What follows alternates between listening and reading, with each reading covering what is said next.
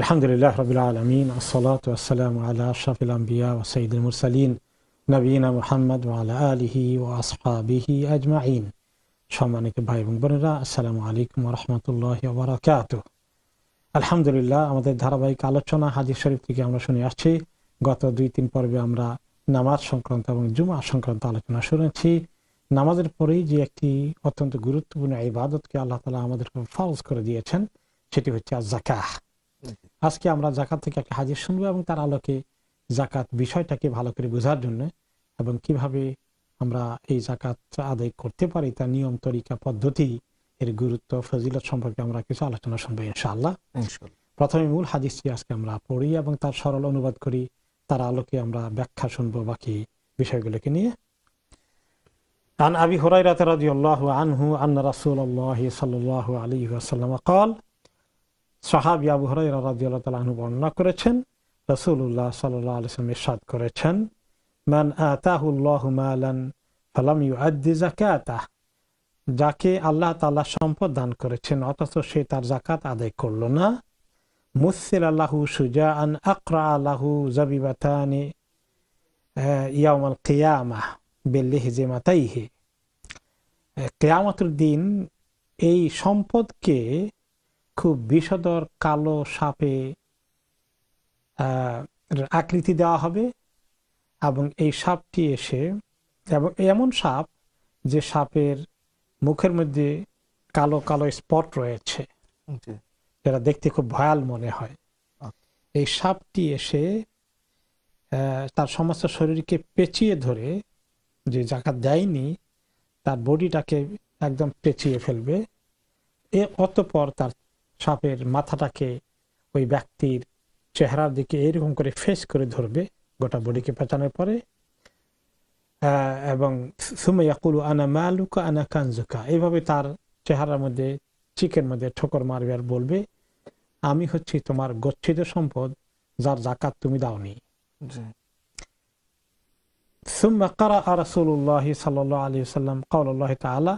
অতঃপর হাদিসে নবী করিম ওয়াসাল্লাম শেষের দিকে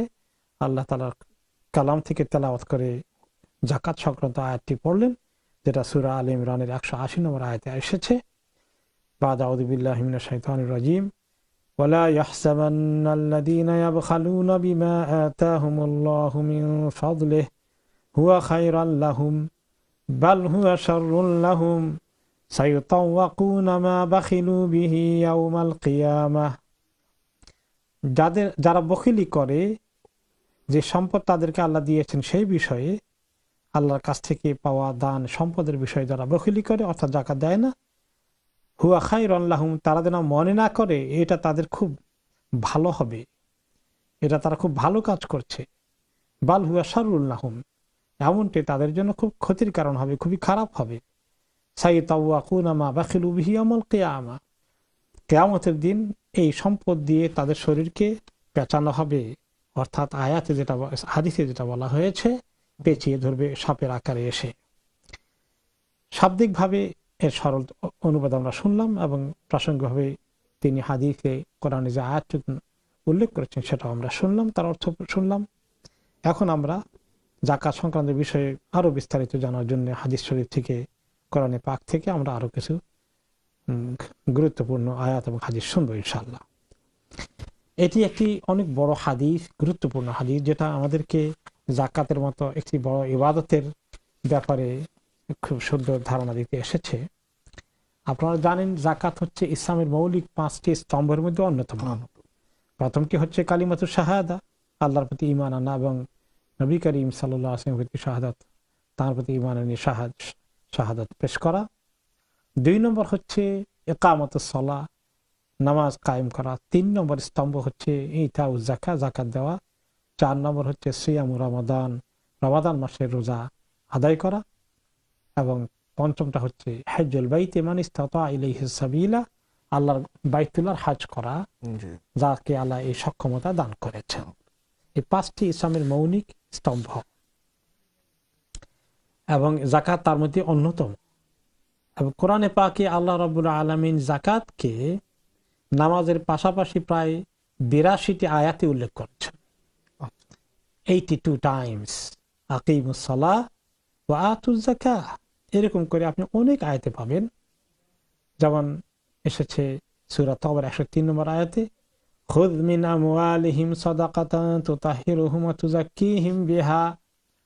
আপনি তাদের সম্পদ থেকে নেন সদাকা, অর্থাৎ জাকাত যা দিয়ে আপনি তাদেরকে পিউরিফাই করবেন পাক সাফ করবেন এবং তাদেরকে অন্তরে অন্তরকে শুদ্ধি করে দেবেন এগুলো শুদ্ধ করে দেবেন এগুলোর কারণে।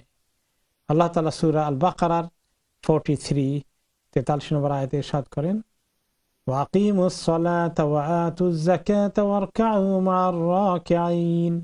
তোমরা নামাজ কায়েম করো এবং জাকাত প্রদান করো এবং যারা রুকু করে তাদের সঙ্গে একসঙ্গে রুকু করো অর্থাৎ জামাতে নামাজ পড়ো। এই তাকিদ করেছেন।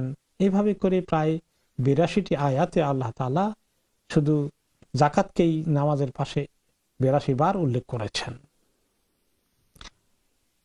এবং এই জাকাত শব্দটার অর্থ কি?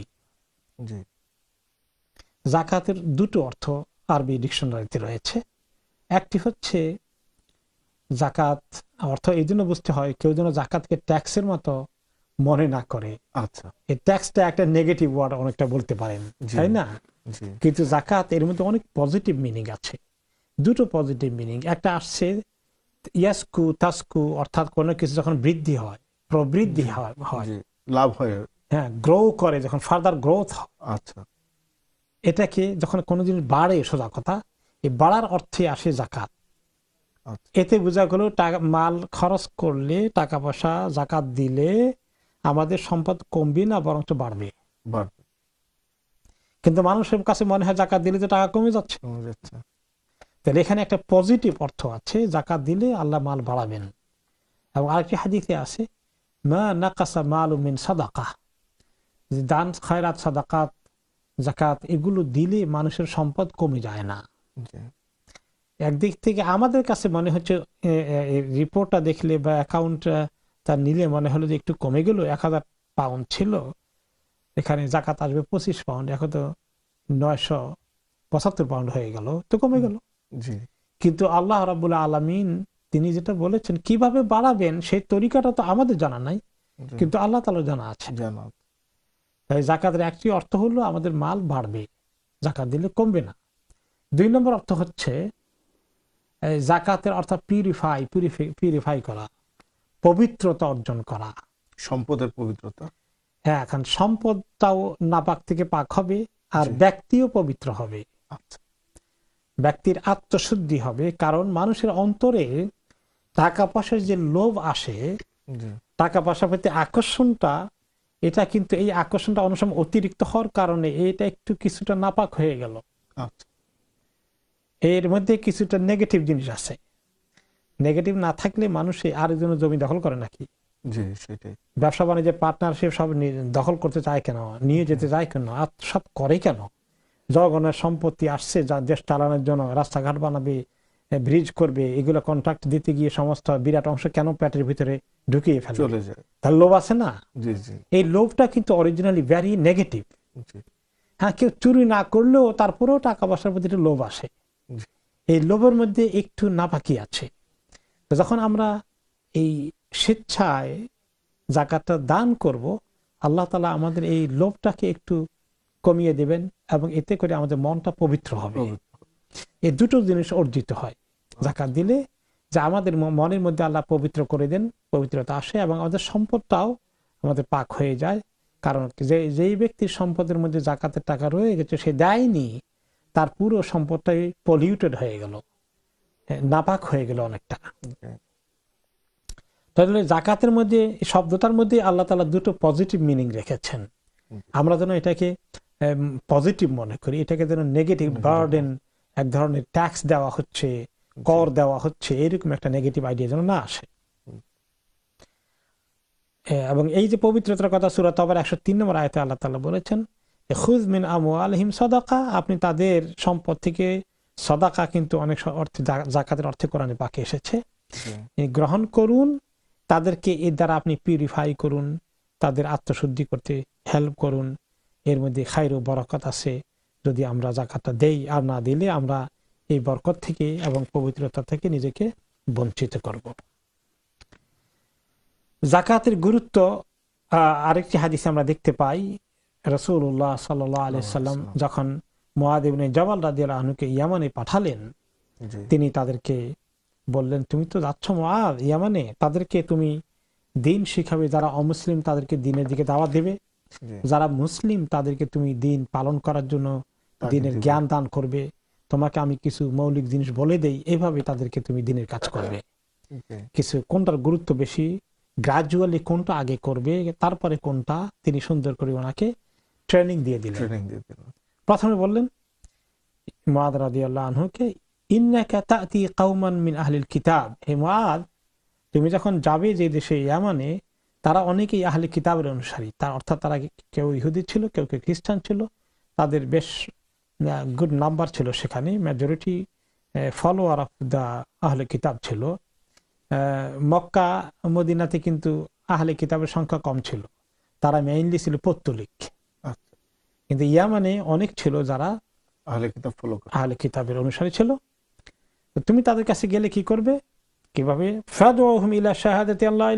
প্রথম তোমার পদক্ষেপ থাকবে তাদেরকে আল্লাহর দিনের দিকে দাওয়াত দেবে যে লা ইলাহা ইল্লাল্লাহ আল্লাহ ছাড়া কোনো মাবুদ নাই। আসল ইসলামের দিকে আসার জন্য প্রথমে ইমানের দাওয়াত দিবে কালিমার দাওয়াত দিবে তাওহীদের দাওয়াত দিবে। আর ও আন্নি রাসুল্লাহ আমি আল্লাহ রাসুল, এই যে প্রথম দাওয়াত, এই কাজ করবে যে ইমান আকিদার দাওয়াত প্রথমে দেবে।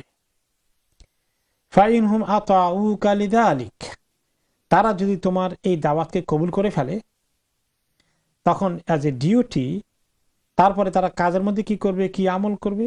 সেকেন্ড হলো ফা আলাম হুম আল্লাহ আলহিম ফি কুল্লি যে আল্লাহ তালা ইমান আনলেই তাদের প্রতি পাঁচ ওয়াক্ত নামাজকে ফরজ করে দিয়েছেন। রাত দিনের মধ্যে এই পাঁচটি ফরজ নামাজ ঠিকমতো পড়ার জন্য তাদেরকে তুমি উদ্বুদ্ধ করবে শিখিয়ে দেবে ট্রেনিং দেবে। হলো দুই নম্বর কর্মসূচি। তিন নম্বর কর্মসূচি হচ্ছে আলিক তারা যদি তোমার দুই নম্বর কর্মসূচি মেনে ফেলে আলিম হুম আন্নাল্লাহ কাদিফতারদা আলিহিম সদাকাতান। তুখাদ মিন আগ্নিয়া ইহিম বা তুরাদ্দুফি ফকারা ইহিম তারা যদি নামাজের আমল শুরু করে দেয়, তিন নম্বরে তাদেরকে তুমি জাকাত দেওয়ার জন্য ডাকবে যে আল্লাহ তালা তাদেরকে যে সম্পদ দিয়েছেন, সেখানে তারা যখন একটা থ্রেশোল্ডে পৌঁছে সাহেবের নিসাব হয়ে যায়, তখন তারা তাদের সম্পদ থেকে জাকাত দিতে হবে। এটা ফরজ করে দিয়েছেন। তাদের দেশেই ওখানে যারা ধনী আছে তাদের থেকে নিয়ে ওই দেশের গরিবদের মধ্যে বন্টন করে দেবে। এটা হলো তিন নম্বর দিনের কর্মসূচি তুমি তাদেরকে পেশ করবে। ফাইহিনুম আতাউকা লিদালিক। তারা যখন তোমাকে এই কথাও মেনে নেয় জাকাত দিতে আসে আমওয়ালিহিম। তখন তুমি জাকাত নেওয়ার সময় তাদের ভালো ভালো সম্পদগুলো দেখে নিয়ে না তুমি একটু গড়ে মেজরিটি সামনে রেখে সেখান থেকে তুমি মাঝামাঝি তরিকা নিয়ে। অর্থাৎ তখন তো সম্পদ ছিল টাকা পয়সার তুলনায় বেশি ছিল আরব দেশে। পশু গৃহপালিত প্রাণীগুলো জাকাত হিসেবে বেশি দিত তারা। যেমন ছাগল গরু উট আচ্ছা। ভেড়া এগুলোর থেকে। আচ্ছা তো বলো যে তুমি যখন নিবা মনে করেন চল্লিশটা গরু হলে একটা গরু বা চল্লিশটা ভেড়া হলে একটা ভেড়া নিতে হয়। তো এখন তুমি যেটা নিবা সেটা সবচেয়ে টপ কোয়ালিটিটা নিও না। অ্যাভারেজ নিয়ম। অ্যাভারেজ নিও কারণ এটা জুলুম হয়ে যাবে। জি। ওয়াত্তাকে দাওয়াতাল মাজলুম। আর তুমি নিয়ে আসো মনে কষ্ট হবে জুলুম হয়ে যাবে তার প্রতি। সে তোমার বিরুদ্ধে দোয়া করলে তুমি কিন্তু খুব বিপদে পড়বে। কখনো জুলুম করো না। মাজলুমের দোয়া আল্লাহ কবুল করে ফেলে। মনে রেখো মাজলুম যে হয় জুলুমের শিকার যে ব্যক্তি তার ফরিয়া তার দোয়া এবং আল্লাহর মধ্যে কোনো পর্দা থাকে না। সরাসরি আল্লাহর কাছে পৌঁছে যায়। শুধু জাকাতের ক্ষেত্রে নয়, তিনি তো একজন সরকারি দায়িত্ব নিয়ে গেলেন মদিনা থেকে। তো ইনসাফ কায়েম করা, বিচার আচার সবকিছুই জাজ হিসাবেও তিনি গিয়েছেন, সবগুলো দিকে ইঙ্গিত করেছেন। কাজে এই হাদিসে আমরা শেষ অংশে এটাও পেলাম যে কোনো, যারা কোনো দায়িত্ব পালন করে সরকারি কর্মচারী হোক অথবা বিচার ব্যবসায় হোক অথবা মন্ত্রী, মিনিস্টার হোক, যারাই রাজকার্য পরিচালনায় অংশগ্রহণ করে তাদের সবাইকে ইনসাফ করতে হবে কার প্রতি জুলুম করতে পারবে না। আর জুলুম করলে তাদের প্রতি আল্লাহর অভিশাপ বর্ষিত হবে। আমরা আসি এখন যে কোরআনে পাকে আল্লাহ রাবুল আলমিন কত গুরুত্ব দিয়েছেন জাকাতকে আদায় করার জন্য? এবং জাকাত আদায় করলে কত সবাব আল্লাহর কাছে পাবে? ট্যাক্স দিলে খুব বেশি সবাব পাওয়া যাবে কোনো? আপনার গাড়ি আজকে এখানে রং জায়গায় রেখেছেন? টিকিট দিয়ে দিল ষাট পাউন্ড আশি পাউন্ড। তাহলে এটা আপনার অনেক কষ্ট হবে। এর বিনিময়ে খুব বেশি নেকি পাবেন এমন কোনো গ্যারান্টি নাই। না। কিন্তু জাকাতটা কি? জাকাতটা কি এরকম নাকি? না। না। ব্যাপারে হাদিসে কোরআন কোরআন হাদিসে কি এসেছে? বিসমিল্লাহির রহমানির রহিম। আলিফ লাম মিম। তিলকা আয়াতুল কিতাবিল হাকিম। হুদাও ওয়া রাহমাতাল লিল মুহসিনিন।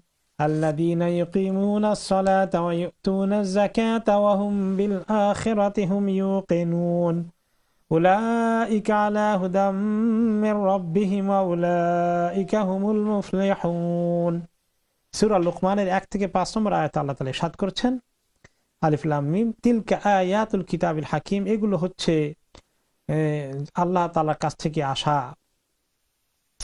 জ্ঞানময় বিজ্ঞানময় কোরআনের আয়াত হুদাম ও রহমত আলিল মোহসেনিন।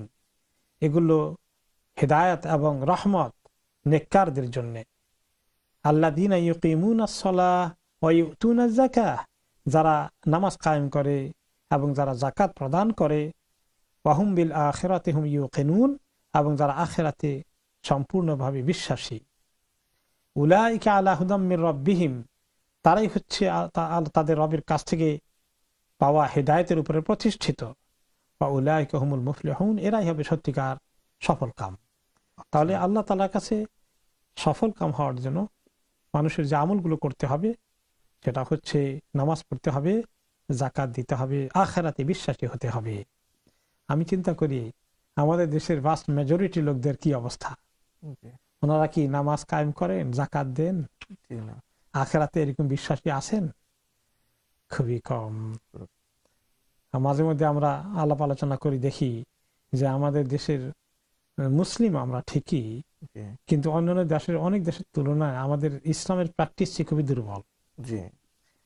যে এটা খুব সত্য নামে মুসলিম কিন্তু কাজে আমলে কোনো ইসলাম আমাদের খুঁজে পাওয়া যায় না।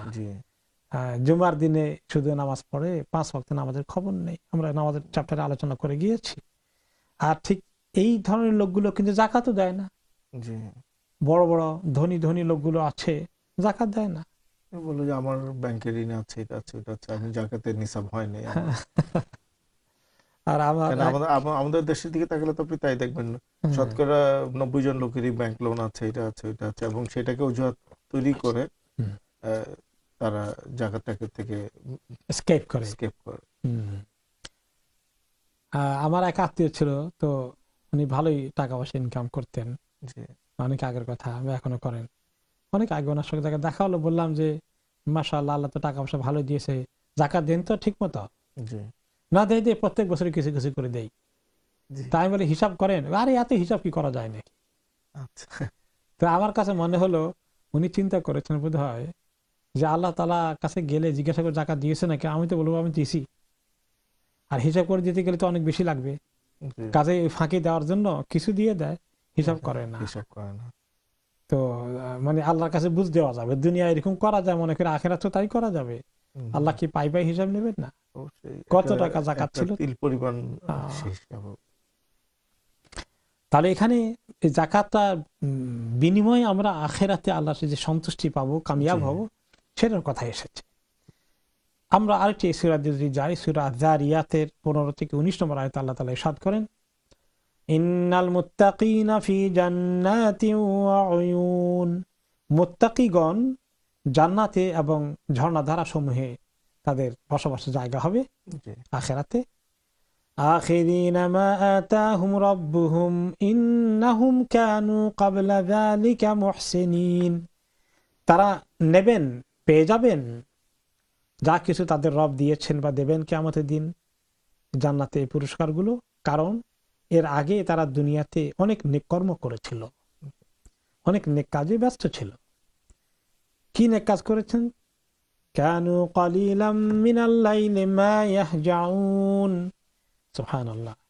রাতের কম সংখ্যকই তারা ঘুমাতেন কম সময় তারা ঘুমাতেন। আল্লাহ তালা যেন আমাদেরকে রাতে একটু তাহাজ পড়া নসিব করে দেন।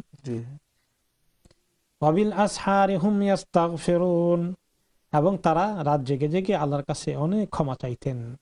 ইস্তেগফার করতেন আখিরাতে মুক্তি পাওয়ার জন্য وفي أموالهم حق للسائل والمحروم আর তাদের টাকা পয়সা সম্পদে যারা ভিক্ষুক এবং যারা বঞ্চিত তাদের হক রয়েছে এবং সে হকগুলোকে তারা ঠিকমতো আদায় করে দিয়েছে এই আদায় করে দেওয়ার কারণে এবং বাকি আমলগুলো করার কারণেই তারা জান্নাতি হতে পেরেছে তাহলে যারা জাকাত দেবে না ঠিক মতো এবং নামাজ পড়বে না তারা কি জান্নাতের স্বপ্ন দেখতে পারে না। সুরাত তাওবার একাত্তর নম্বর আয়াতে আল্লাহ তালা বলেছেন والمؤمنون والمؤمنات بعضهم أولياء بعض يأمرون بالمعروف وينهون عن المنكر মোমেন পুরুষগণ এবং মহিলাগণ একে অপরের একান্ত আপনজন তারা একে অপরকে ভালো কাজের উপদেশ দেয় মন্দ কাজ থেকে বিরত রাখে। তাহলে মোমেনদের প্রথম গুণ এখানে এসেছে তারা এই কাজটা করে। আমাদের সমাজে অনেক সময় অনেক লোকেরা মন্দ কাজ করে কিন্তু অনেক লোকই বলে কোনো গায়ে মাখে না। এইটা তার ব্যাপার আমি কি করব। আমার প্রতিবেশী আত্মীয় স্বজনের মধ্যে যদি আমি দেখি মন্দ কাজে জড়িত হয়ে আছে আমাদের দায়িত্ব না। তাদেরকে একটু দৃষ্টি আকর্ষণ করা সব পথে নিয়ে আসার কাজ করা তাহলে এই কাজটা করা মোহাম্মদের জন্য অন্যতম গুরুত্বপূর্ণ দায়িত্ব। দুই নম্বর তারা নামাজ কায়েম করে। এখানে এই তিন নম্বর দুই নম্বর কোয়ালিটি এটা এসেছে। তারা জাকাত আদায় করে। এগুলো সবগুলো হচ্ছে মুমিন হওয়ার লক্ষণ। লক্ষণ। গুণাবলী। এরপরে চার নম্বরটা হচ্ছে তাদের গুণ। তারা আল্লাহ এবং তার রাসূলের কথা মেনে চলে। শরীয়তের বাইরে তারা কাজ করে না। যেগুলো ফরজ ওয়াজিব সেগুলো পালন করে পরে সুন্নত নফলের দিকেও যায়। আর যেগুলো হারাম সেগুলো থেকে তারা দূরে থাকে। কবিরা গুণা থেকে তারা দূরে থাকে। এটাই হচ্ছে আল্লাহ এবং তার রসুলের অনুসরণ করা অর্থ। ব্যক্তির লক্ষ্য জি। এগুলো যদি করে তাদের জন্য কি আছে? উলাইকা সায়ারহামুহুমুল্লাহ। এরা হচ্ছে ওই লোক যাদের প্রতি অবশ্যই আল্লাহ তাআলা রহম করবেন। তাহলে আল্লাহর রহমত না পাইলে আখেরাতে আমাদের উপায় আছে। কত মুসিবতে পড়ে যাব। তা রহমত পাওয়ার জন্য কি করতে হবে? রহমত পাওয়ার জন্য এই আমলগুলো করতে হবে। দিনের কাজ করতে হবে মানুষকে ভালোর দিকে ডাকা মন্দ থেকে সরিয়ে আনা। আর দুই নম্বর হচ্ছে তাদেরকে নামাজ কায়েম করতে হবে নামাজ পড়তে হবে পাঁচ ওয়াক্ত। ফরজ জাকাত আদায় করতে হবে। আল্লাহ এবং তার রসুলের কথাগুলো শরীয়তের হুকুম মেনে জীবন যাপন করতে হবে। তাহলে আখেরাতে আল্লাহ তালা তাদেরকে রহমত দিয়ে ধন্য করবেন। আল্লাহ তালা আসলে তো আমাদেরকে টাকা পয়সা দিয়ে পরীক্ষা করে দেখেন যে আমরা যারা তিনি কাউকে দারিদ্রতার মধ্যে রেখেছেন তাদেরকে কত রকম ফেভার করি এটাও কিন্তু পরীক্ষা হচ্ছে। এই জন্য বলা হয়েছে ওই আয়াতে একটু আগে পড়েছি আমরা অফি আমু আলিহিম হাক্কুল নিসাইল মাহরুম। যে তাদের সম্পত্তির মধ্যে যারা ভিক্ষুক ভিখারি এবং যারা বঞ্চিত তাদের হক রয়েছে। মানে গরিবের হক রয়েছে গরিবের হক রয়েছে। তবে আমার কাছে যদি সারা বছরের খরচ শেষে এক হাজার পাউন্ড থাকে তাহলে এখানে আড়াই পার্সেন্ট অর্থাৎ নয়শো পঁচাত্তর পাউন্ড আমার আর পঁচিশ পাউন্ড কিন্তু গরিবদের। এটা তাদের টাকা আমার পকেটে আল্লাহ দিয়েছেন আমাকে পরীক্ষা করার জন্য। পরীক্ষা করার জন্য। আমি সেটা। আমানতটা আমি রক্ষা করি ঠিক এবং তার বিনিময়ে আল্লাহ আমাকে অনেক কিছু দেবেন জি। আর যে ব্যক্তি দেবেন না তাদের জন্য আল্লাহ শাস্তির কঠিন শাস্তির কথা বলেছেন। যারা সোনা এবং রূপাকে গচ্ছিত করে রাখে এবং তারা আল্লাহর রাস্তায় এগুলো কখনো খরচ করে না অর্থাৎ দান খরাত করে না জাকাত দেয় না। ফাবাশির হুম আদাবিন আলিম আপনি তাদেরকে কঠিন শাস্তির সুসংবাদ দিন অর্থাৎ দুঃসংবাদ দিন। জি। ইয়াউমা ইউহমা আলাইহা ফি জাহান্নাম। যেদিন তাদের এই সোনা রূপাগুলোকে, টাকা পয়সাগুলোকে মেটাল ধাতব পাতে পরিণত করা হবে এবং এগুলোকে জাহান নামের আগুনে গরম করা হবে। লাল করার পরে এবং এগুলো দিয়ে তখন তাদের চেহারার মধ্যে পৃষ্ঠদেশে এবং তাদের এক পাশে এভাবে স্যাঁক দেওয়া হবে। এবং বলা হবে তখন শাস্তি দিতে দিতে হ্যাঁ দা মা কানাস তুমলি আনফুসিকুম এগুলো যেগুলো শেখ পাচ্ছে এখন এগুলো তোমাদের গচ্ছিত টাকা পয়সা সোনা রূপা এগুলোর। যেটা তুমি দান করো করনি জাকাত দাওনি। ফাদুকু মা কুন্তুম তাকনিজুন। হ্যাঁ, আপনি তুমি এখন এগুলো স্বাদ গ্রহণ করো যেগুলো তুমি গচ্ছিত করে রেখেছিলে অর্থাৎ জাকাত দাওনি। এই আয়াত এটা হচ্ছে সুরাত তাওবার চৌত্রিশ এবং পঁয়ত্রিশ আয়াত এই আয়াতের তাফসিরের মতোই সুরাত হাদিসে এসেছে বলেছেন মা মিন সাহিবি যাহাবিন ওয়ালা ফিদ্দাতিন যে কোনো সোনার রূপার যারা মালিক এখনকার টাকা পয়সা তো আসলে টাকা পয়সা আগে এসে কিন্তু সোনার উপায় থাকে সম্পদের কথা বলা হয়েছে লা ইউআদ্দি মিনহা হাক্কাহা এগুলোর যে হক আছে অর্থাৎ জাকাত আছে সেগুলো যদি কেউ আদায় না করে ইল্লা ইদা কানা ইয়ামুল কিয়ামাতে তখন কিয়ামতের দিন কি হবে? সুফি হাতলাহু সাফা ইহমিন নার। এগুলোকে আগুনের ধাতব ইয়ে, ধাতব আকারে এগুলাকে পাতের ধাতবের পাত তৈরি করা হবে এবং সেগুলোকে আগুনে সেক দেওয়া হবে গরম করা হবে জাহান্নামের আগুনে। আর সেগুলো দিয়ে তাদেরকে কপালে তাদের এক সাইড পাশে পিঠে হ্যাঁ, সেক দেওয়া হবে। কুল্লমা বারিদাত ঈদাত লাহু। যখনই কিছুক্ষণ শাক দেওয়ার পরে একটু এগুলোর আগুন ঠান্ডা হয়ে আসে কমে আসে আবার সেক দেওয়া হবে আবার তাদেরকে এভাবে মানে বারবার গরম করা হবে এবং এটা দিয়ে ছেঁকা দেওয়া হবে। কানা মিকদারু খামসিনা আলফা সানা। এটা হবে কিন্তু আসলে হাসরের ময়দানে জাহান্নামে যাওয়ার আগেই হাসরের ময়দানে চলতে থাকবে। এবং ওই দিন যেদিন যে দিনটির আহ, ইয়ে হবে মেয়াদ হবে প্রায় পঞ্চাশ হাজার বছর একটি দিনের মেয়াদ হবে হাসরের ময়দানে। সেদিন তাদেরকে ওইখানেই সেক দেওয়া হবে। হাত্তা ইউখুদা বাইনাল ইবাদ অতপর যখন বান্দাদের ভিতরে ফয়সালা করে দেওয়া হবে কে জান্নাতে কে জাহান্নামে যাবে ফাইয়ারা সাবিল্লাহু সে তার রাস্তার দিকে দেখতে পাবে কোন দিকে তার ঠিকানা। ইম্মা ইলাল জান্না ও ইম্মা ইলাল না জান্নাতে যাবে অথবা জাহান্নামে যাবে। এই শাস্তি তাকে যাওয়ার আগেই হ্যাঁ তাকে মোকাবিলা করতে হবে। এইভাবে জাকাত না দেওয়ার শাস্তির কথা এসেছে। এখন জাকাত কার উপরে ফরজ হয়? জাকাত ফরজ হওয়ার জন্য মুসলিম হিন্দুর উপরে তো জাকাত ফরজ হবে না মুসলিমের উপরে। এবং সে যদি স্বাধীন হয় সে যদি কৃত দাস না হয় সে যেন নেশাবের মালিক হয়ে যায়। এবং পুরুষ মহিলা তাতে কিছু আসে যায় না। ছোট বড় সবার উপরে জাকাত ফরজ হয়। যদি একটা মতভেদ আছে কোনো কোনো ফকারা বলেছেন নামাজ যেভাবে বালেগ হওয়া উপরে ফরজ হয় ঠিক তেমনি জাকাতও বালেগ হলে ফরজ হয়। হানাফি মাঝহের এটাই হলো ফতোয়া।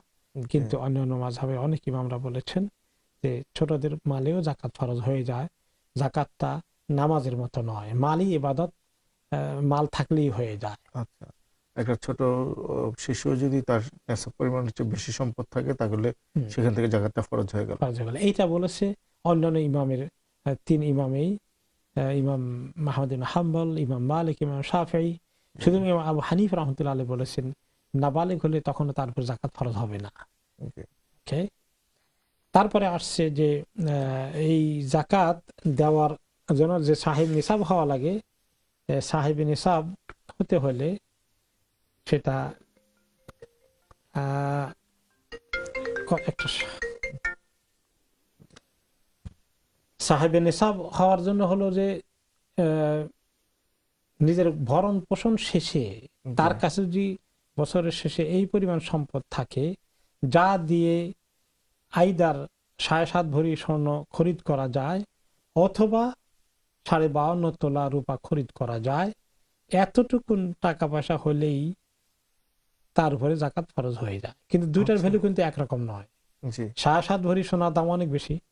যেটা প্রায় এখনকার জামানায় মানে কেউ কেউ বলেছেন যে পঁচাশি গ্রাম সোনা সাড়ে সাত ভরি। আর সাড়ে বাউন্ন তলা হচ্ছে আপনার চারশো পঁচানব্বই গ্রামের মতো হয়। তো এই দুটোর মধ্যে যেটা বাজার মূল্য কম হয় সেটা হলো নিসাব আচ্ছা। থ্রেশহোল্ড তো বর্তমানে আমরা দেখেছি যে রূপার সাড়ে বাউন্ন তলা রূপার দাম কমে কম হয়। সেটা বর্তমান জামানায় আড়াইশো পাউন্ডের কাছাকাছি। দুইশো চল্লিশ থেকে আড়াইশো পাউন্ডের ভিতরে হয়। যদি কারোর কাছে এই টাকা এই পরিমাণ টাকা জমা থাকে এবং বা এর চেয়ে বেশি থাকুক কিন্তু এর নিচে নামে না তাহলে এই ব্যক্তি নেশাবের মালিক হয়ে গেছে। বছরের শেষে হিসাব করে দেখবে কি পরিমাণ আছে। রূপা হলেই আমাদের হয়ে হয়ে যাবে। এখন কত ইনকাম করেছিল কত বেতন এসেছে কত লাভ করেছে কত টাকা এগুলোতে হিসাব রাখে নাই কেউ। কত খরচ করেছে তারও হিসাব রাখে নাই জাকাত দেবে কেমনে লোকেরা খুব দুশ্চিন্তায় পড়ে যায়। এত দুশ্চিন্তার কোনো কারণ নাই। আপনি শুধু দেখবেন যেদিন জাকাত দিতে বসেছেন এই দিন আপনি কত টাকা মালিক। আচ্ছা। কত ইনকাম হয়েছে এটা চিন্তা করার কোনো দরকার নেই। কত খরচ করেছেন এগুলো কিছু দেখতে হবে না। কত টাকার মালিক আজকে আপনি? আচ্ছা। আমার ব্যাংকে কত আছে? দুইটা অ্যাকাউন্ট থেকে দুই অ্যাকাউন্টে কত আছে? ঘরে কিছু আছে কিনা? ওয়ালেটের মধ্যে কিছু আছে কিনা? কত টাকা পাবো? এগুলো আমার জাকাত আসবে। আর যেগুলো আমি দেনা আছি নিশ্চিত দিয়ে দেব সেগুলো মাইনাস হবে। তারপরে আমি জাকাত যা হয় সেটা আদায় করে দেব। একটা প্রশ্ন আসে যে ঋণ থাকলে কি জাকাত দিতে হবে কিনা? আপনি একটু আগে বলেছিলেন যে অনেকেই এক্সকিউজটা খুব বড় একটা এক্সকিউজ দেখা। সেটা হলো যে যে ঋণ আপনি নিয়েছেন শোধ করার নিয়তে এবং শোধ করবেন তাহলে সেই ঋণটা শোধ করে যা থাকে বাকিরা জাকাত দিবেন। কিন্তু আপনি ঋণ দিচ্ছেন না দিবেনও না সহজে। আবার দিতে হলে বা একসঙ্গে দিবেন না আপনার মনে করেন যে ইনস্টলমেন্টে দিচ্ছেন। তাহলে আপনি ওই টাকার জাকাত দিতে হবে। ম্যাক্সিমাম নেক্সট টুয়েলভ মান্থের ইনস্টলমেন্টটাকে আপনি মাইনাস করে বাকিটা জাকাত দিতে হবে। আচ্ছা। আর অনেক সময় লোকেরা প্রশ্ন করে যে আমার তো অনেক টাকা আমি লোকদের কাছে পাবো তারা এখন দিচ্ছে না আমাকে। আমি সেটা জায়গা দিতে হবে কিনা? তো সেটা নিয়ম হলো যে যে টাকা আপনি নিশ্চিত পাবেন সেটা জাকাত দিয়ে দেওয়া উচিত। আচ্ছা। আর যেটা পাওয়া ব্যাপারটা অনিশ্চিত হয়ে গেছে পাবেন কিনা সন্দেহ আছে। দুই কারণে। এক কারণ হচ্ছে যে লোকটা দিতে গড়িমসি করছে। এখন সে আদৌ দেবে কিনা আপনি এখন অনিশ্চিত হয়ে পড়েছেন। জি। তাহলে এখন পাবেন কিনা সেটা নিয়েই অনিশ্চিত জাকা দিতে গেলে তো আরও আপনার উপর বোঝা হয়ে গেল। তাহলে এই মুহূর্তে সেটা পাওয়ার দেওয়ার দরকার নেই। যখন তার থেকে পান তখন হিসাব করে বাকি বছরগুলো দিয়ে দিবেন। আর যদি খুব বেশি করে দিয়ে দেরি করে যায় সে তাহলে তো বোধহয় আপনার মূল টাকাটা অনেকটাই চলে যাবে। তাহলে ম্যাক্সিমাম এক বছর এটা আদায় করবেন বকেয়া। আচ্ছা। আর না পাওয়া গেলে দেবে না এই টাকা টাকা টাকা দেওয়ার দরকার নেই। আর দুই নম্বর হচ্ছে যে কেউ কেউ দিতে চায় কিন্তু দিতে পারে না তার কাছে নেই। সেটা হলো আগেটার মতো এই হুকুম। এখন দেওয়া দরকার নেই। পাওয়ার পরে আপনি চাইলে যদি খুব বেশি দেরি না করে বিগত কয়েক বছর আপনি দিয়ে দিলেন একবারে আর তা না হলে আপনি এক বছর আদায় করে দিলে হয়ে গেল। আর যেটা পাওয়া যাবে না সেটা দেওয়া দরকার নেই। এই হলো যে জাকাত যারা আহ, উম, জাকাতের টাকা যদি মানে আপনি আপনি লোকেরা নিয়েছে দিচ্ছে না তাদের ক্ষেত্রে। আচ্ছা। আরেকটা প্রশ্ন আসে যে সোনা গয়নার জাকাত আছে কিনা? করণীয় সোনা গয়নার জাকাত আছে কিনা? এই বিষয়ে ব্যবহার্য ব্যবহারযোগ্য যে সোনা গয়না এটা নিয়ে দুটো মত আছে। ইমাম আবু হানিফা রহমতুল্লাহ আলী বলেছেন যে নিসাব পরিমাণ পৌঁছে গেলে সেটারও জাকাত দিতে হবে। আচ্ছা। বাকি ইমামদের যুক্তি হচ্ছে নেশা পরিমাণ হলেও যদি ব্যবহার ব্যবহার্য সোনা গয়না হয় সেটার জাকাত দিতে হবে। আচ্ছা। আহ, ব্যবহার্য হলে ব্যবহারের জিনিসের জাকাত লাগবে না। শুধুমাত্র গচ্ছিত করে রাখতে হলে সেটা জাকাত দিতে হবে। করছি তো আর ব্যবহার্য দুইটার মধ্যে পার্থক্যটা কি? যেমন আমি আপনাকে যদি একটু হ্যাঁ। সহজ করে বলি আমাদের অনেকেরই দেখা গেছে যে পরিবারে চল্লিশ ভরি পঞ্চাশ ভরি এক একজনের স্বর্ণ আছে এবং এগুলি সব হয়তো কারও বিয়ের বা নানা অনুষ্ঠানে বা শখ করে বানিয়েছে। ঠিক আছে? নানা সময় নানা ডিজাইনে নানা রকম। তো এখন একজনের চল্লিশ ভরি স্বর্ণ আছে সে নেশাবের অনেক বেশি আছে কিন্তু সবগুলি তার ব্যবহার্য সে নানা অনুষ্ঠানে এগুলো পড়ে যায়। ও ও ওই ক্ষেত্রে ব্যাপারটা কি হচ্ছে? এগুলো তো ব্যবহার্য স্বর্ণই কিন্তু এগুলো তো প্রতিদিন পড়ছে না। এগুলি গচ্ছিত থাকছে ঘরে মাঝে মাঝে পড়ছে মাঝে মাঝে পড়ছে না। এখন গচ্ছিতের অর্থে কেউ কেউ নিয়েছেন যেটা যে ওই আয়াতে পড়েছিলাম ওয়াল্লাদিন এক নিজুন আল অল ফেদ্দা।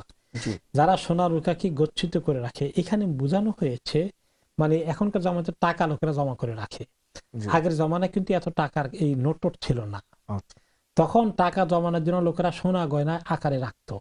আচ্ছা। কথা বুঝতে পেরেছে জি জি তো তারা মনে- বলেছেন যে আয়াতে মিন করেছে সোনা গয়নাকে হয়তো গিনি সোনা আকারেই হোক অথবা অলংকার আকারেই হোক তার উদ্দেশ্য হচ্ছে I am saving my money through this. হ্যাঁ এইটাকে বলা হয়েছে গচ্ছিত। গচ্ছিত। তো এইটার উপরে এক নিজুন জাহাবা কোরআনের শব্দ গচ্ছিত করে রাখে। অনেক আচ্ছা। ইমামরা সেখান থেকে নিয়েছেন যে তার নিয়তটা কি? এগুলা কি কোনো একসময় ব্যবহার করবে? এই মধ্যে না করলেও মাঝে মধ্যে এটা করবে মাঝে মধ্যে ওটা করবে বিভিন্ন পার্টিতে এটা করবে হয়তো বছরে একবার দুবার করবে। তো এটা কি আসলে গচ্ছিতের মধ্যে পড়ে না? এটা স্টিল ব্যবহার ব্যবহৃত হচ্ছে তার নিয়তটার উপর অ্যাকচুয়ালি।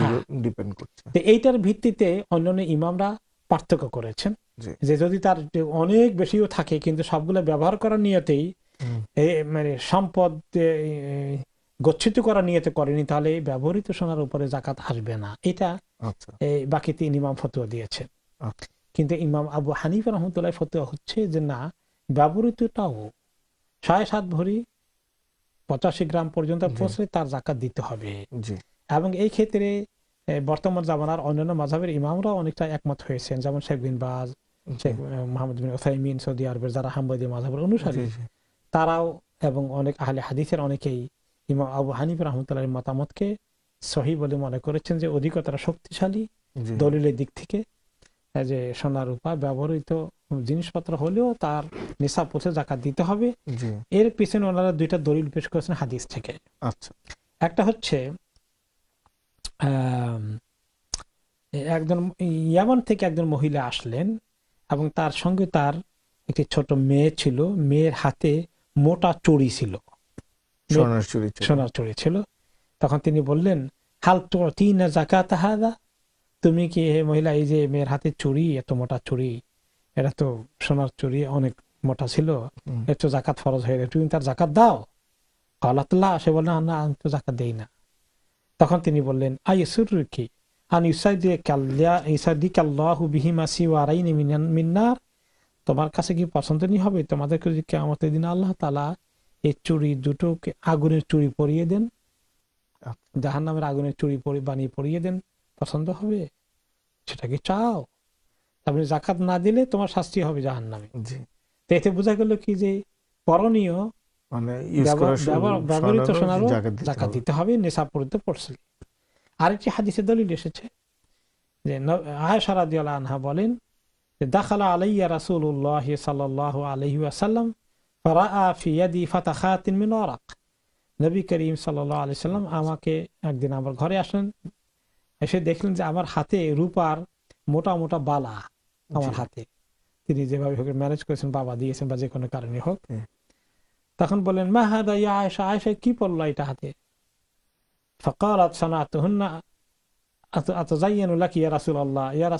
আপনার কাছে একটু সাজগোজ করে থাকব এই জন্য এটা আমি জোগাড় করেছি। আচ্ছা।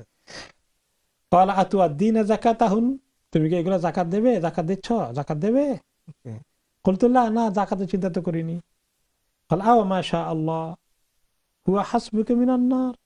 তুমি জানো কি? তুমি জাকাত যদি না দাও তোমার জাহান নামে জড়ার জন্য এই চুরি দুটোই যথেষ্ট বালা দুটো। তো এখানে কি বোঝা গেল? সুস্পষ্ট দলিল। ব্যবহৃত সোনার উপরও জাকাত রয়েছে। এখন অনেকে প্রশ্ন করেন যে এখন মহিলার স্ত্রীর যদি জাকাত থাকে তাহলে এটার কি স্বামী জাকাত দেবেন না স্ত্রী দেবেন? কারণ কন্ট্রোভার্সিয়াল একটা কোশ্চেন। আমাদের প্রতি রমজানই বিশেষ করে প্রশ্নটা বারবার আসে। চলে আসে। জি। তো স্ত্রীর অনেক সময় ইনকাম নেই এটাও হতে পারে। স্বামীর আছে।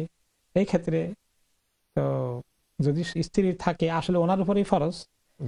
স্বামী যখন স্ত্রীকে দিয়েছেন স্ত্রী কিন্তু এই সম্পদের মালিক। তিনি তাকে দান করেছেন হেবা করেছেন তিনি মালিক হয়ে যান। তাহলে যার যিনি মালিক তার উপরে ফরজ হয়। এখন ওনার ফরজ উনি স্বামীকে বলবেন আমার তো এখন জাকাত দেওয়ার সামর্থ্য নাই। তাহলে স্বামী আদায় করে দিলে আদায় হয়ে যাবে। আর স্বামী যদি বলে যে না আমি তো জাকাতের দায়িত্ব নেওয়ার কথা না তোমার। তাহলে স্ত্রীর উপরে দায়িত্ব বার্তায়। তখন তাকে আদায় করতে আদায় করতে হবে তিনি কিছু বিক্রি করে আদায় করে দিবেন। আর বিক্রি করতে করতে যদি সাড়ে সাত ভরি নিচে চলে আসে আর লাগবে না। আর কেউ যদি হানাফি মাঝাবের ফতুয়া না নিয়ে ওই যে অন্য তিন ইমাম যে ফতুয়া দিয়েছেন সেই তরিকা যদি না দেয় তাহলে সেটাও কেউ কেউ অ্যালাউ করেছেন। জি। আল্লাহ আলাম।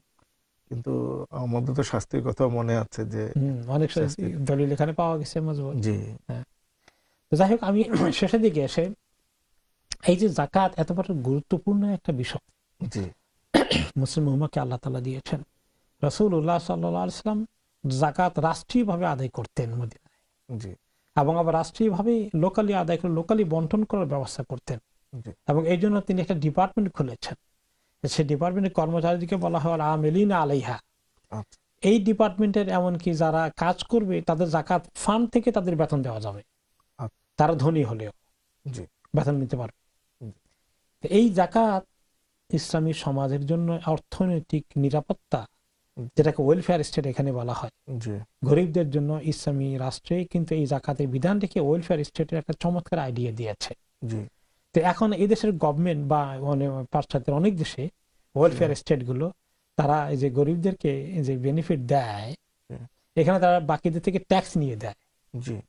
কিন্তু ইসলাম সেটা কিন্তু মূলত মৌলিকভাবে গরিবদের জন্য দিতে জাকাত থেকে নিয়ে বাইতুল মালে জমা করতে বলেছে। সেটাই। সেখানে যারা জাকাত দিবে তাদের জন্য কিন্তু বিরাট একটা আল্লাহ আখরাতে জান্নাত সেই সময় তো এই যে রাষ্ট্র ট্যাক্সের এই ব্যাপারটা ছিল ছিল না।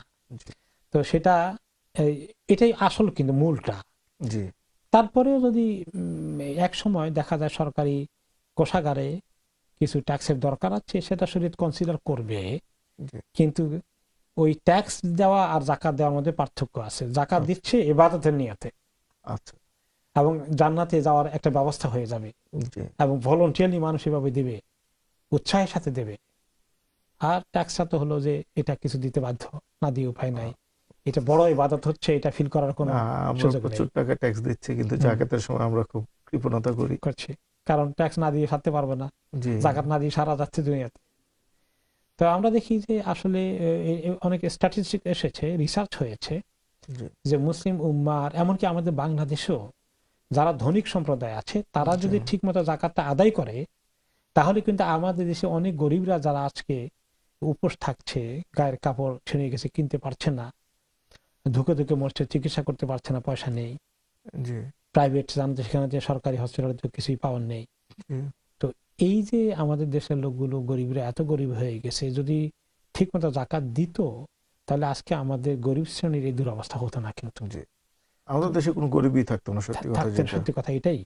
এবং আমাদের নবী সেটা প্রমাণ করেছেন তার জীবদ্দশায়। অ্যাবসলিউটলি ওমর ইবনে আব্দুল আজিজের সময় মানে মুসলিম স্টেটে জাকাত নেওয়ার মতো লোক খুঁজে পাওয়া যেত না।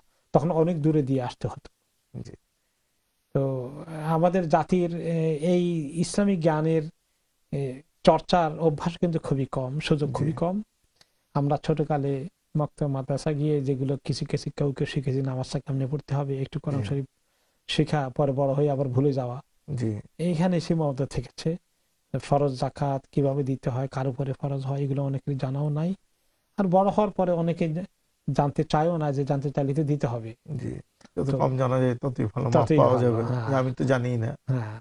এই জন্য আমরা অনেকে মনে করে আমরা দুনিয়া দিক থেকে পশ্চাৎপদ হয়ে আছি কিন্তু আসলে আমরা ইসলামের দিক থেকে আরও বেশি পশ্চাৎপদ হয়ে আছি। অনেক বেশি। অনেক দূরে। আর যে জন্য আমাদের সমাজটা আজকে বিভিন্ন কারণে কলুষিত হয়ে গেছে ইসলামের সুন্দর যে সুশীল সমাজ থাকার কথা সেটা থেকে আমরা বঞ্চিত হয়ে গেছি।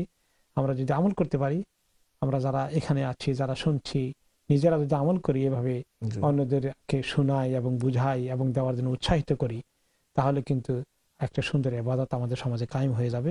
আল্লাহ তালা আমাদেরকে তফিক দান করুন। শেখ আজকে আমরা চমৎকার আলোচনা শুনছি আপনার কাছ থেকে জাকাত নিয়ে।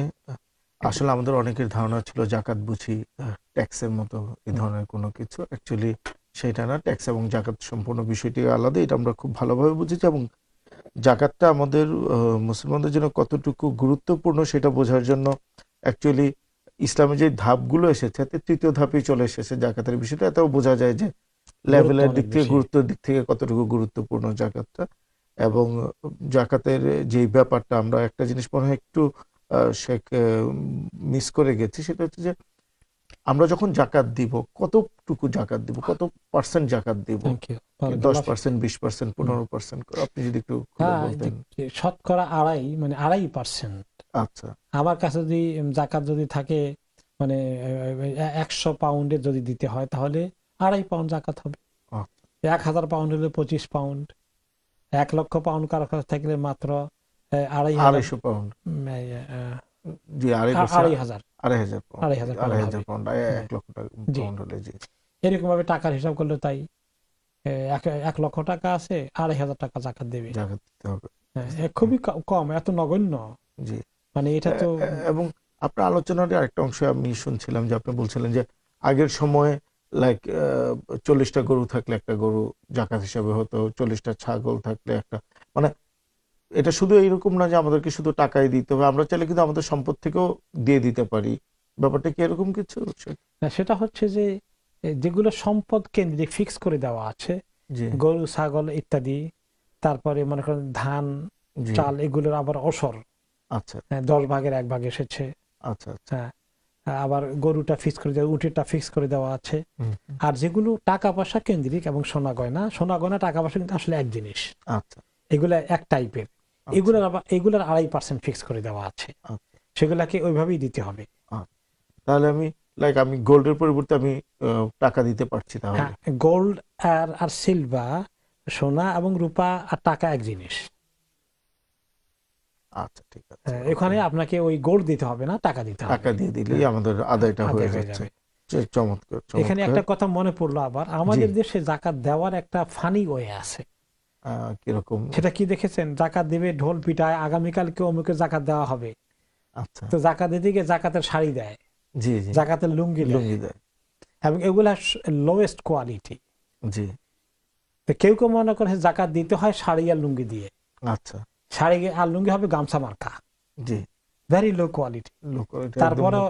বাজে কোয়ালিটি জি জি খুবই নিচু মানের এবং যখন দেওয়া হয় তার আগে থেকে যখন এইভাবে অ্যানাউন্স করতে থাকে তখন ওই বাড়িতে এত লোক জমা হয় এবং পত্রিকায় আসে জাকাতের অনেক, দিকে হ্যাঁ। অমুকের বাড়িতে একসঙ্গে দরজা যখন খুলছে সবাই হুড়মুড়ি করে ধাক্কা দিতে গিয়ে বেশ কয়েকজন মারা গিয়েছে। গত বছর তার আগের বছর পত্রিকা খবর এসেছে। মারা গিয়েছেন। এবং শুধু তাই না এর আগেও প্রতি বছরই দেখা যায় এরকম একটা দুইটা নিউজ থাকে। থাকে। যে জাকাত নিতে গিয়ে পায়ে পায়ে চাপায় পিষ্ট হয়ে মারা গেছে। জি অনেক গরিব মারা গেছে। আর এরকম একটা কথা বোধ মুখস্থ করে রেখেছে আমাদের দেশে কেউ কেউ জাকাত জাকাতের দিতে কাপড় দিয়ে।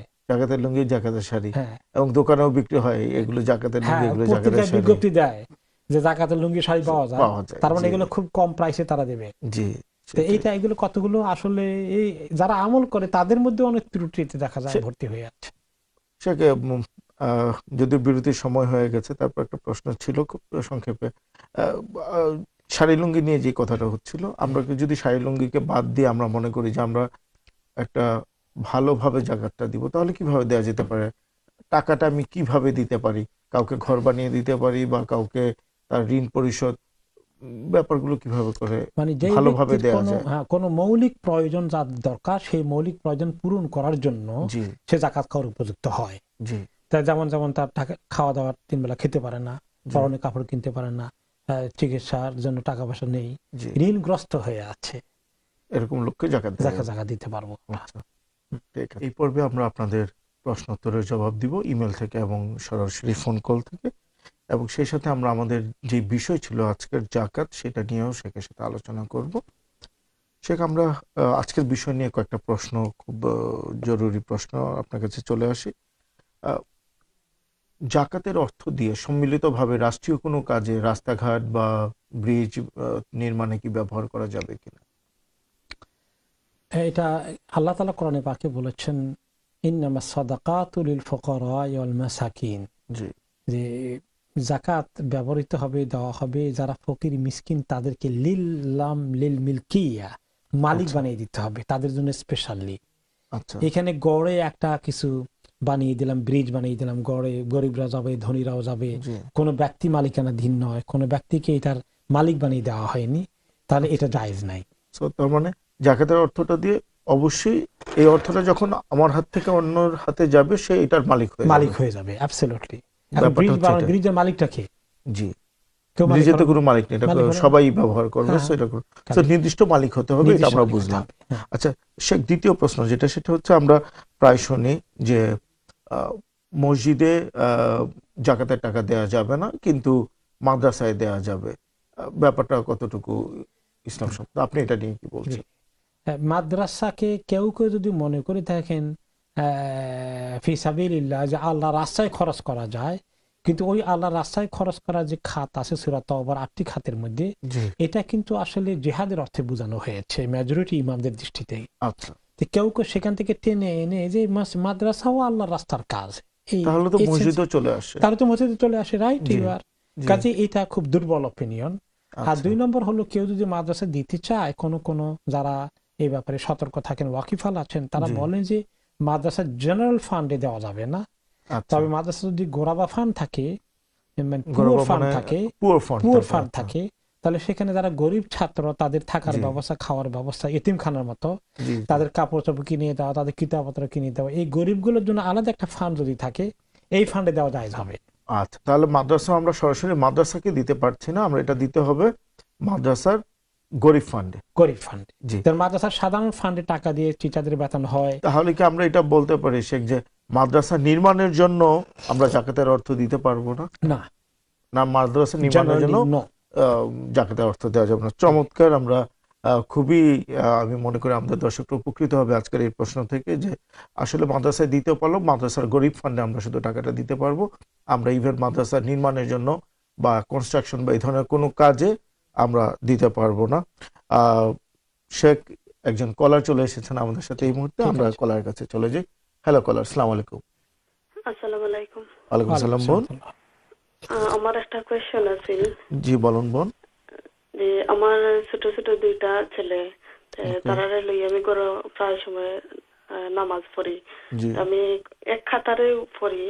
অনেক সময় আমার হাজবেন্ডও লগে তাহো নাকি আমার এটা কি ও নমাজ কিতা ওইনি পুরা না কোনো মিস্টেক হয় এটার মাঝে আপনার প্রশ্ন বুঝতে পেরেছি বোন ইনশাল্লাহ শেখ উত্তর জামাতে পড়েন না একলা আলাদা পড়েন? এক কাতারে পড়েন এবং মাঝে মধ্যে ওনার হাজবেন্ডের সাথে একলা করে পড়েন।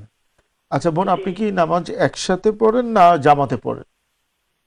জি না জামাতে পড়ি না আমার আহ, ছেলেরা করলে শিকানির লাগি একটু প্র্যাকটিস করি।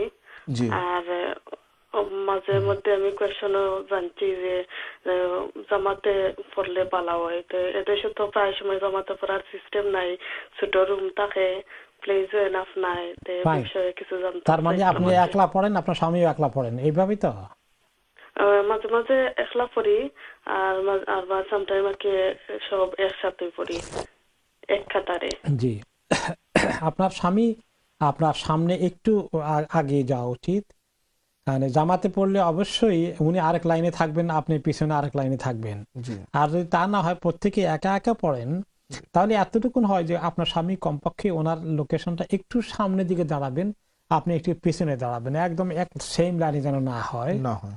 আর বাচ্চাগুলো যেগুলো আছে ওগুলা ক্ষেত্রে কনসিডারেবল আছে আপনাদের পাশে পাশে দাঁড়ালে অসুবিধা নেই।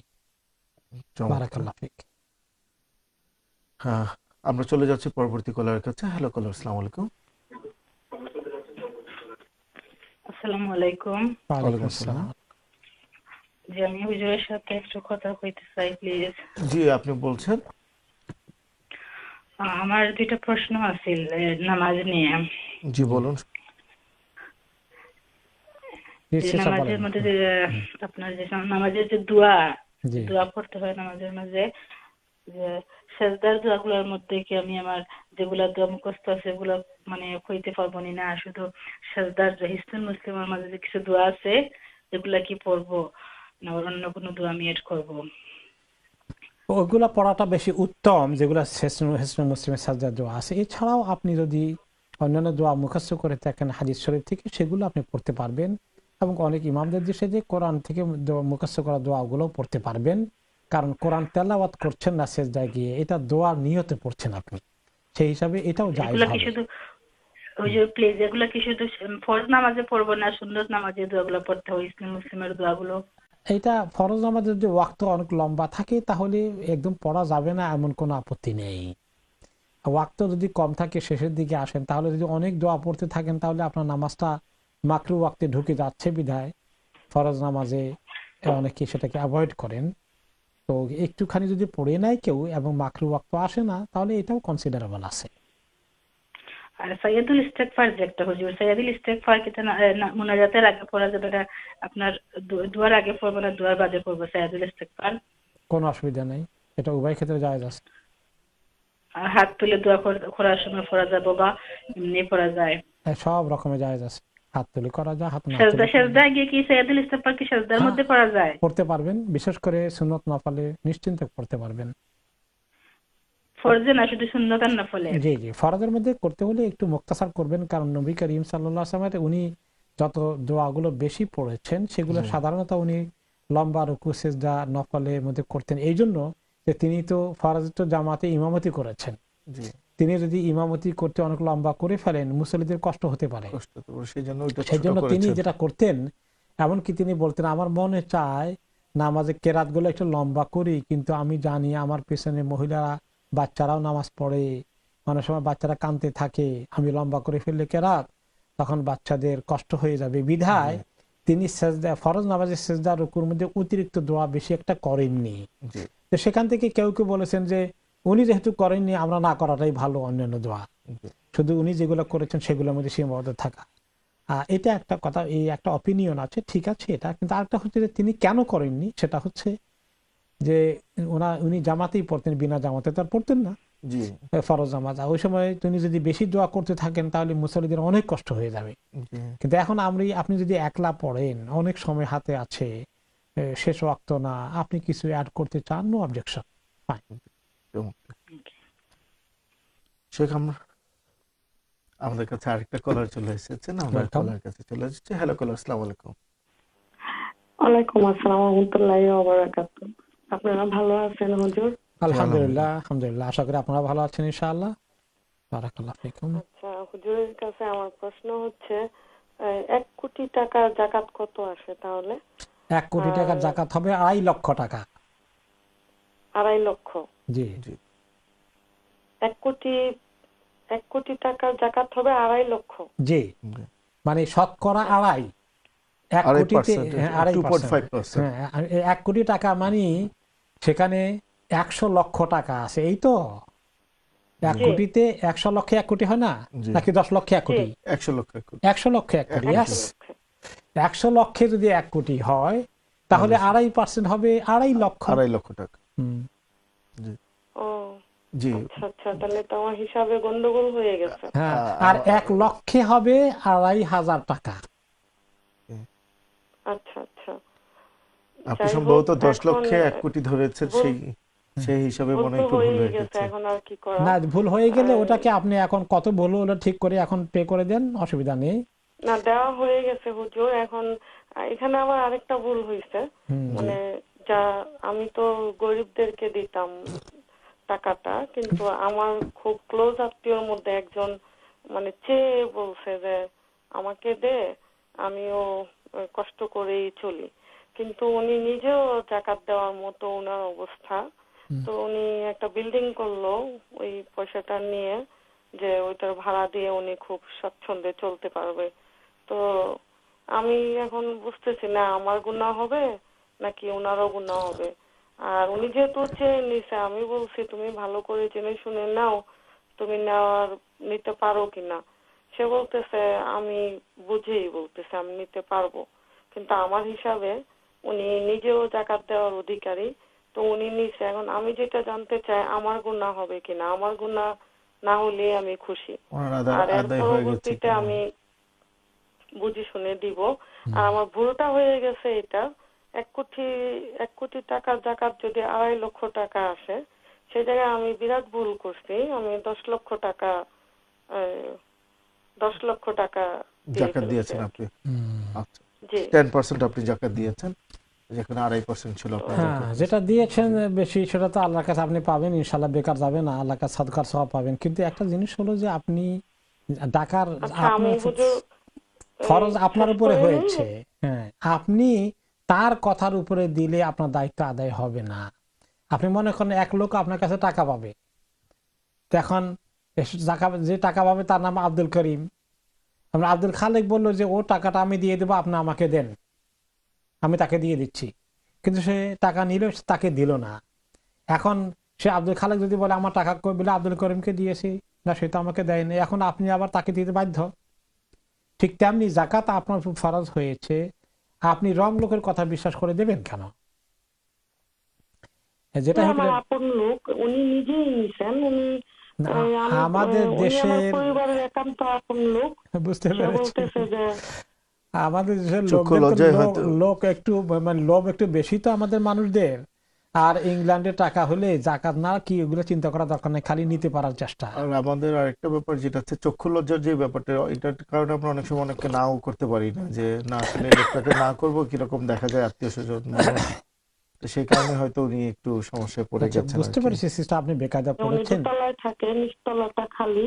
তো বলে যে আমি ভাড়ার টাকাটা দিয়ে খুব স্বাচ্ছন্দ্যে চলতে পারব ছেলে মেয়ে বউ বাচ্চা নিয়ে। তো আমি দিলাম আর কি। তো ইন ফিউচারে আমি দিব না। কিন্তু হুজুর আমাকে বলবেন, আমার গুণা হবে কিনা? এটা একটা প্রশ্ন। আর আরেকটা প্রশ্ন যেটা হচ্ছে, হুজুর, আমি খুব এটাকে ভয় পাই যে মৃত্যুর পরে আজাবকে কবরের আজাবকে আমি সারাক্ষণই আমার ব্রেনে এটা, আমার কান দিও যে কবরে গেলে শ্বাস ফেলা যাবে কিনা আজাবের মধ্যে এটা। যে আমার খালি মনে হয় আমার নাকটা বন্ধ হয়ে গেলে আমি শ্বাস নিতে না পারলে এই হাজার হাজার বছর ধরে যদি আমি শ্বাস নিতে না পারি জানি না তো কতটুকু আমল করি কতটুকু ভালো খারাপ মানুষ তো আমরা। হ্যাঁ, বুঝতে পারছি ঠিক আছে। কবরের মধ্যে কি শ্বাস নেওয়ার ব্যবস্থা আছে কিনা আচ্ছা। এটা আমার একটু বলবেন সে- থ্যাংক ইউ বারাকাল্লাহ ফিক। সিস্টার এক নম্বর হচ্ছে যে আপনি নিজের জাকাতটা নিজ দায়িত্বে দেবেন। আপনি অনেকজনের কথায় সে যতই বলুক আপনার এবাদত এই এবাদতের ক্ষেত্রে আপনাকে সুষ্ঠু তরিকা আদায় করতে হবে, এটাকে আপনি সিরিয়াসলি নেবেন। আর কবরের বিষয়টা হচ্ছে যে, ওখানে তো শ্বাস নেওয়া মানে আপনার এই নর্মাল যে বডি এখন আছে শ্বাস নেওয়ার, এই বডি তো আর থাকবে না। সেখানে যারা নেককার হবে, তাদেরকে আল্লাহ তালা সেখানে এই শ্বাস নেওয়ার থেকে শুরু করে জান্নাতের, একেবারে জান্নাতের সঙ্গে জানালা খুলে দেবেন কোনো চিন্তার কারণ নাই। তো কবরের হিসাবটা দুনিয়ার মতো না। তাহলে আমরা যখন কাউকে কবর দিয়ে আসি তার তো শ্বাস দেওয়ার কোনো রাস্তাই নাই। আসলে কিন্তু এই বডি আর দুনিয়ার হিসাব ওভাবে করার দরকার নেই। মেইন হলো যে কবর আজাব এবং জাহান নামের আজাব দুটো থেকে আল্লাহর কাছে আমাদের পানা চাইতে নবী করিম সাল্লাম বারে বারে বলেছেন এবং দোয়া শিখিয়ে দিয়েছেন। আমরা পজিটিভলি এই ভয় এনে আল্লাহর কাছে আমরা আল্লাহর রহমতের আশা করে দোয়া করতে থাকব। কোনো কোনো সময় শয়তান মানুষকে কবরের জাহান্নামের ভয়ের কারণে আবার দেখা যায় নেগেটিভ করে ফেলে। তার ভিতরে ডিপ্রেশন নিয়ে আসে প্যানিক অ্যাটাক চলে আসে। এটা কিন্তু শয়তানের আরেকটি হাতিয়ার। কাউকে কাউকে মোটেই এটার কোনো ভয় করতে মনে করতে দেয় না গাফেল করে দেয়। কাউকে এত বেশি ভয় দেয় কাউকে এরকম করে ফেলে তাকে নেগেটিভ লাইন নিয়ে যায়। যত আল্লাহর বন্দারা আল্লাহর ভয় কান্নাকাটি করেছেন তারাই দুশ্চিন্তাগ্রস্ত হননি। জি আল্লাহর ভয় ঠিকই কান্নাকাটি করেছেন। এই যে ইমানকে পাহারা দিতে হবে আপনি শয়তানকে জাগা দেবেন না যে আমার আল্লাহ অনেক রাহিম রহমান। আমি চেষ্টা করব আমার যথাসাধ্য নেক আমল করার জন্য। আমার আল্লাহ আমাকে রহমত করে পার করে দিবেন এই আশায় আমি আছি। শেখ আমরা আমাদের ইমেলের প্রশ্নে চলে যাই। আমাদের যদিও অনেক কলার আছে তারপরে ইমেলের দর্শকরাও তারা বসে আছে তাদের উত্তরগুলি শোনার জন্য। আমি খুব সংক্ষেপে বলছি। মোহাম্মদ কালাম আমাদেরকে ইমেল করেছেন। তিনি জানতে চেয়েছেন যে আসরের ওয়াক্তে জোহরের নামাজ কাজা পড়া যাবে কিনা? জহর নামাজ আসর রক্তে না পড়তে বলে কাজা তো করতেই হবে। কেউ কেউ বলে যে না আসর রক্তে জন্য একটা মাগরির পরে পড়তে হয় এটা মিথ্যা কথা। আচ্ছা পড়া যাবে। হ্যাঁ পড়া যাবে। কিন্তু এখানে আরেকটি ফর্মুলা আছে। কোন কোন ইমামরা অ্যালাউ করেছেন সহি মুসলিমের হাদিসের ভিত্তিতে যদি কারও জহর পড়ার একদম কোনো সুযোগ নেই এরকম হয়ে যাচ্ছে মনে হয় বিশেষ করে উইন্টারে তখন তিনি যদি নিয়ত করে ফেলেন যে আমি কাজা না করে আমি আসরের সঙ্গে জোহরকে পড়ে ফেলব। এটাকে বলে জমা বাইনা সলাতাইন। দুই উক্ত নামাজকে একসঙ্গে পড়া জোহর আসর এক জোড়া জি। মাগরিব এশা এক জোড়া। আচ্ছা। এই নিয়তে জোহরকে যদি কেউ পড়তে না পারেন আসরের সময় এসে প্রথমে জোহরের চার রাকাত পড়ে নেবেন এবং তারপরে আসর পড়ে নেবেন। এতে করে কাজা হবে না। এটা একটা ফর্মুলা আছে। যদিও এটা নিয়ে অনেক ইমামরা ইখতলাফ করেছেন কিন্তু সহি মুসলিমের হাদিস আছে এবং অনেক ইমামরা এটাকে অ্যাগ্রি করেছেন। ঠিক মাগরিব এশার ক্ষেত্রে একই তরিকা আছে। যে মাগরিবের শেষ মুহূর্তে মাগরিব এবং এসে একসাথে হ্যাঁ। মাগরিব ওয়াক্ত চলেও গেছে। আপনি নিয়ত করলেন যে আমি না আমি চলে গিয়ে যাওয়ার আগেই নিয়ত করবেন যে আমি ইনশাল্লাহ কাজা করব না। আমি জমা বাইনের সালাতে দুইটা একসঙ্গে পড়ব। আচ্ছা। তখন আপনি এসার সময় আসলেন নয়টা নটা দশটা এগারোটায় আসলেন। আগে মাগরিব পড়ে নিলেন সুন্নত পড়বে না তারপর সঙ্গে সঙ্গে এসা পড়লেন। এই ফর্মুলা কোন কোন ইমামরা অ্যালাউ করেছেন? আচ্ছা। সহি মুসলিমের হাদিসের ভিত্তিতে কেউ কেউ দ্বিমত পোষণ করেছেন? তবে আবার আসর মাগরিব কিন্তু এক জোড়া না। আচ্ছা। জোড়া মিলতে হবে। জোহর আসর এক জোড়া আসর একসাথে মাগরিব এবং মাগরিব এশা আরেক জোড়া। জোড়া। তার আগে নিয়তটা করে ফেলতে হবে সময় মতো। অ্যাবসোলুটলি জি। চমৎকার। দ্বিতীয় আমাদের প্রশ্নটি হচ্ছে বোন নাসির সুলতানা করেছেন। উনি নাইনটি টু ইয়ার্স একজন ওল্ড মহিলাকে দেখাশোনা করেন। তিনি কেয়ারারের জব করে কিন্তু ওই মহিলা সাদা এবং সে যে খাবার খায় সেটাতে পোর্ক বা হারাম জাতীয় খাবার আছে তাকে এটা গরম করতে হয় এবং সার্ভ করতে হয় তার জবের খাতিরে। যদিও তার কাজটি করতে ভালো লাগে না কিন্তু এখন সে যে এলাকায় থাকে ওটা হচ্ছে সাদা অধ্যুষিত এলাকা ওখানে তার অ্যাকচুয়ালি আর কোনো উপায়ও নেই। তার জবটা কতটুকু হালাল হবে বা তার আয়টা কতটুকু হালাল হবে ঠিক আছে ওটা তাদের খাবার যেহেতু এটা যা দেওয়া জায়েজ আছে অসুবিধা নেই। শুধু যদি মদ পরিবেশন করা লাগে দিস একটি ডিফিকাল্ট কোয়েশ্চন আচ্ছা। ওইটা ছাড়া তাদের খাবার হারাম হলেও ওইটা আপনি এই জব করতে পারবেন পরিবেশন করা এটা আপনার জন্য। আপনি তো খাচ্ছেন না? কাজেই এটা আপনার জন্য এমন আপত্তির কোনো কারণ নেই। বোন নাসরিন সুলতানা আশা রাখি আপনি আপনার প্রশ্নটি উত্তর পেয়েছেন। ভাই শরীফ আমাদেরকে জানতে চেয়েছেন সফরের সময় কি বেতের নামাজ পড়তে হবে? সফরের সময় নবী করিম সাল্লাহ আসলাম ভিতর নামাজকে ছাড়েননি। হাদিসে আচ্ছা। এসেছে মা তারাকা রসুল্লাহ সাল্লাহ আসলাম সাল্লাহ লাফি সফরিহি ওয়া লাফি হাদরিহি। তিনি সফরের হালতে নিজ এলাকায় থালা- থাকা অবস্থা কোন অবস্থাতেই ভেতরকে ছাড়েননি। আচ্ছা। এই জন্য পারত পক্ষে এটা পড়ে ফেলা উচিত। আচ্ছা ঠিক আছে ওকে। আশা রাখি আপনি আপনার প্রশ্নের উত্তরটি পেয়েছেন। ভাই হক উনি আমাদের কাছে জানতে চেয়েছেন যে লন্ডনে একবারে এককালীন টাকা দিয়ে বাড়ি কিনা খুবই কষ্টকর। উনি মর্গেজ নিয়ে বাড়ি কিনতে পারবেন কিনা বা ভালো সলিউশন কি আছে? মর্গেজ জেনারেলি সুদ সেটার জন্য তো সুদ তো হারাম। এটা আমরা মনে করি যে মেজরিটি ইমামরা এখনও মনে করছেন এটা হারাম। কিন্তু যদি ইসলামী ব্যাংকের কোনো ফর্মুলা আর রাইয়ান ব্যাংক মোশারাকা তারপরে ইজারা বেসড যে কনসেপ্টগুলো ইসলামী ব্যাংক ইউজ করে সেগুলোর মাধ্যমে যদি যান তাহলে সেটা হালাল বলে অনেক আমাদের ফতুয়া রয়েছে। কিন্তু জেনারেল হাই স্ট্রিট ব্যাংকের সুদ ভিত্তিক ব্যাংক থেকে তা হারাম এটা বাকপেসারাও এখন বলছে যে শরিয়া পদ্ধতিতে তারা মর্গেজ দিচ্ছে। শরিয়া কমপ্লায়েন্স কিছু প্রোডাক্ট তাদের আছে আছে। ওগুলো গ্রহণ করা যেতে পারে। আচ্ছা ঠিক আছে চমৎকার। ভাই হক ভাই হক আশা রাখি আপনি আপনার উত্তরটি পেয়েছেন? আমরা এখন আবার চলে যাব আমাদের কলারের কাছে। হ্যালো কলার কে আছেন? আলাইকুম আপনারা দিয়ে বানার গেছে আর যে বকাতো পয়সা দিয়া গরিব গরিব অহাতা জানতাম আপনি আপনার প্রশ্নটা আরেকবার একটু প্রশ্নটা আবার বলেন। গরিব মেসিংদের কি করতে চান জাকাতে টাকা দিয়ে?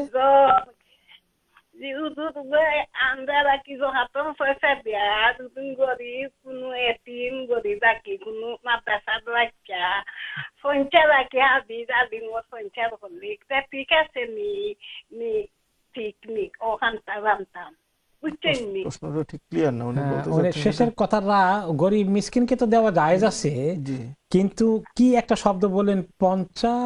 জি এটিম গরিব রাখি হাবি জালি মোর পঞ্চা করা। স্পন্সর করা স্পন্সর আও করা বুঝতে পেরেছি হাফিজ এবং। আলিমদের স্পন্সর করা জাকাতের টাকা দিয়ে এটা জায়েজ আছে কিনা? প্রশ্নটা আমরা হ্যাঁ ঠিক আছে বুঝতে পেরেছি। স্পন্সর যে করবেন স্পন্সরশিপ যারা করে এগুলো নেয় আমি জানি টিভি আপিলি তারা বারে বারে নেয় এটা তারা শিওর যদি করে তারা ঠিক মতো করল কিনা আমি তার গ্যারান্টি দিতে পারছি না। হ্যাঁ এমনি কেউ যদি। হ্যাঁ এমনি যদি কেউ ঠিক মতো করে তাহলে এরকম একদম এতিমদের জন্য এরকম স্পন্সরশিপ করা এটা জায়েজ আছে। জি আলহামদুলিল্লাহ। ঠিক আছে? বারাকাল্লাহ ফিক। ওকে। ওয়ালাইকুম সালাম। ওয়ালাইকুম সালাম। ওকে নেক্সট কলার কাছে চলে যাচ্ছে। হ্যালো কলার আসসালামু আলাইকুম। হ্যালো কলার আসসালামু আসসালামু আলাইকুম। আলাইকুম। ওয়ালাইকুম ওয়ালাইকুম সালাম সালাম। বারাকাত আমার দুইটা প্রশ্ন। জি। জি।